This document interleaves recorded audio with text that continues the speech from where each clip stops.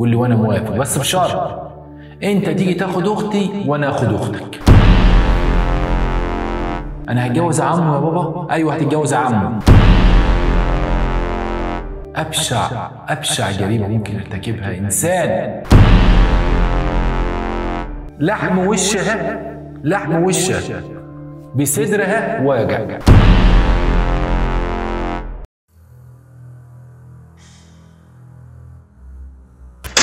إن عواقب ارتكاب الجريمة وخيمة جدا. ستودي بك إلى أوضاع مأساوية حزينة.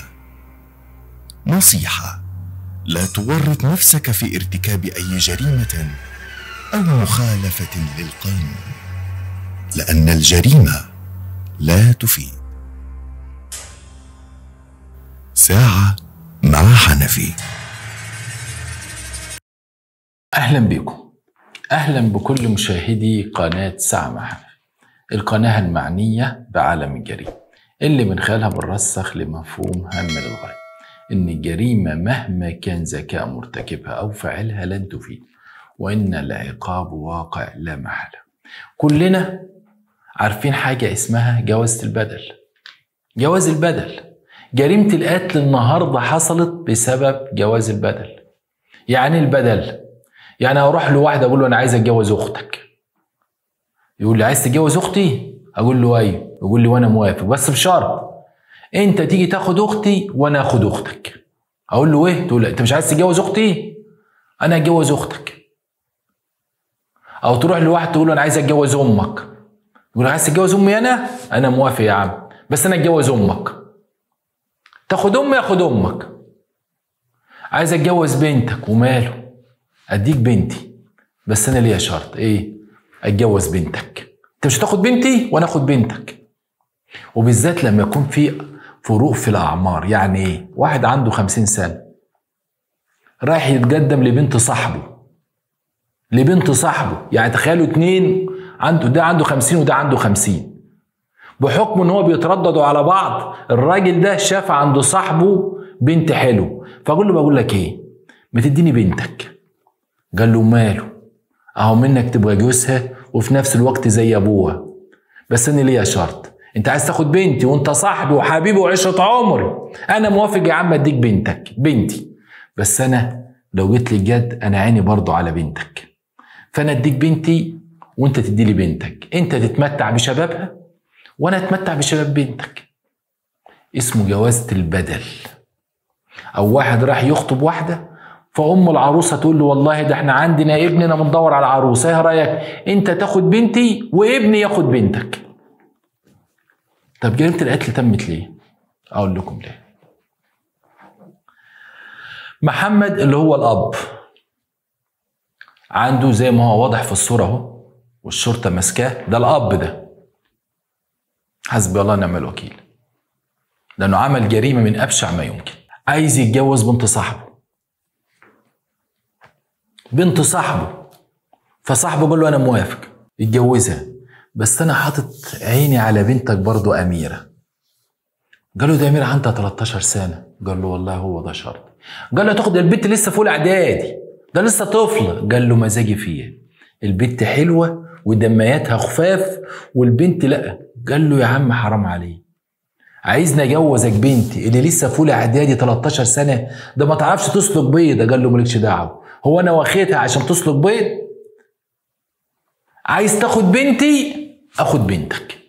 الاتنين أصحاب ومن سن واحد تخيلوا لما راجل زي ده اللي أنتوا شايفين صورته مكلبش ده عايز ياخد واحدة من دور عياله وهيدي بنته اللي عندها 13 سنة لراجل من دوره. فمحمد قال له أنا موافق خلاص.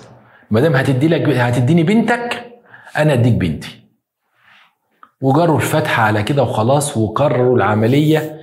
انت هتديني بنتك وأنا اخد بنتك اللي هو جواز البدل اللي بنقول عليه. روح محمد لبنته. يا أمير قالت له إيه يا بابا. قال لها مبروك. قالت له عليه يا بابا. قال لها انت اتخطبتي. بنت عندها 13 سنة. قالت له اتخطبت؟ اتخطبت يا بابا. قال لها عارفة عمه اللي بيجي يسهر معايا هنا؟ قالت له آه. قال لها خطبك. لمين يا بابا؟ هو عنده ابن. قال لها لا ده هو خطبك لنفسه. أنا هتجوز عمه يا بابا. أيوه هتتجوز عمه. البنت ما تعرفش حاجة هتتجوز عمه إزاي؟ ده زيك يا بابا. قال لها هو الكلام ده؟ قالت له لا مش هتجوز. أنا مش هتجوز. البنت ما تعرفش حاجة.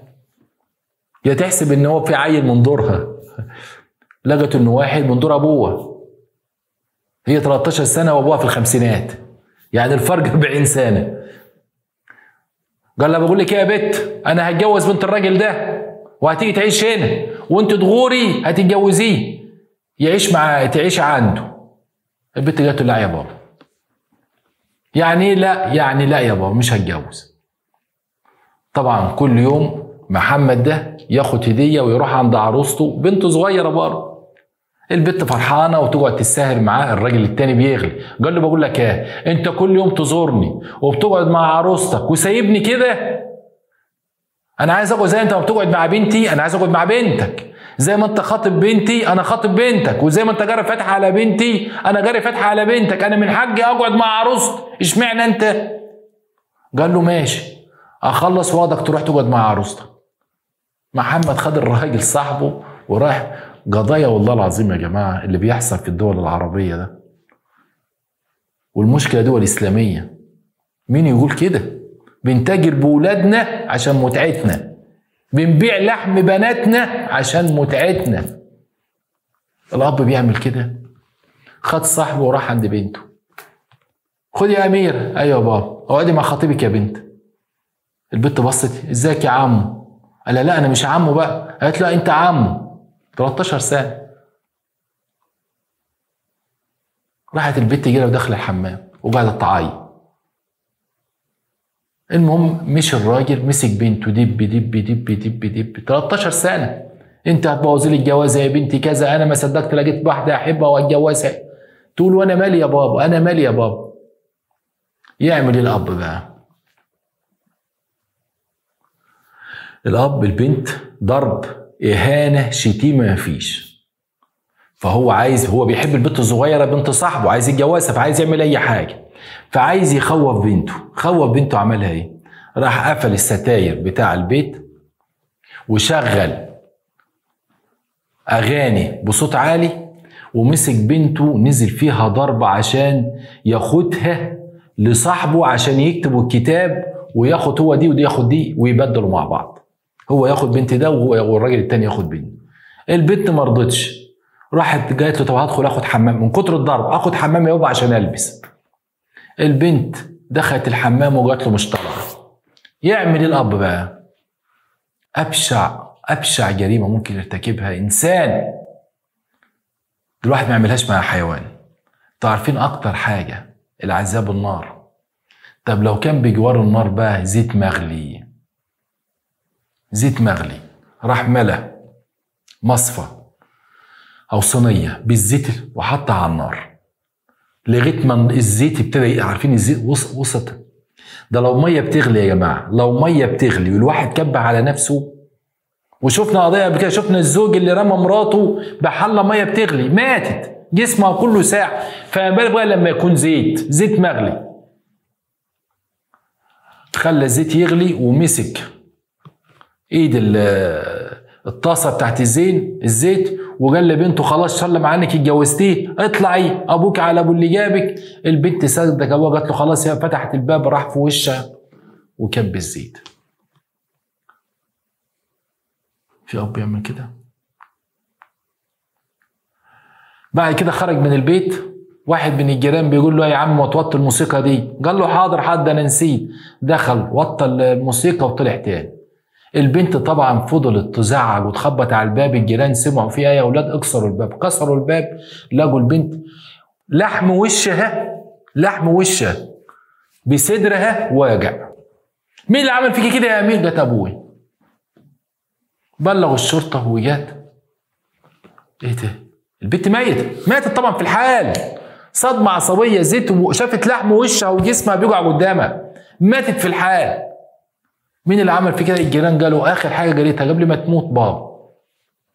عشان كده صور شفنا الصورة دي والشرطة مكلبشاه الكلب الحيوان ده وواخداه. في التحقيقات قال كانت واقفة عقبة قدام سعادتي ورفضت تتجوز صاحبي اللي وافق إن هو يجوزني بنته. وبنتي أنا مش قادر أخليها توافق عليه. ضربتها مفيش فايدة.